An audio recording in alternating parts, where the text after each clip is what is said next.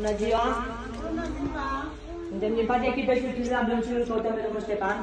Da, La mulți ani! mulțumim. Aveți o surpriză din partea cuiva drag care dorește să vă transmite la mulți ani și din partea noastră vă dorim o sinceră mulți ani și multă, multă sănătate. E pentru dumneavoastră. Încă l-am de ceva. Adică pe chiar chimăsăric. Și pui pe N-a ce primă să vin că l-am dobat, să ce dăm Nu lasă așa. Nu, adă, nu ții eu.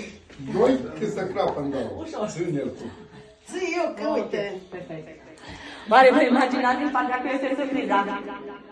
Cred ca copiilor. Da? O să încep cu un mesaj din partea că v-a făcut surpriza. Dragul meu tătic, fica ta te felicită cu ocazia zilei de naștere și te sărută dulce, să știi că mi este dor de tine atunci când pleci. Îți mulțumesc pentru educația care mi-ai dat-o, pentru dragostea care mi-o oferi, pentru grija și gingășia ta.